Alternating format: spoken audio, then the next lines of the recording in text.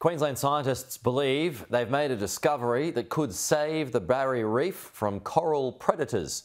Researchers discovered the red decorator crab had a large appetite for juvenile crown of thorns starfish, which devours up to 90% of living coral tissue and is accountable for 40% of coral loss on the reef. Scientists hope distributing the crab across vulnerable areas on the reef will control crown of thorn outbreaks.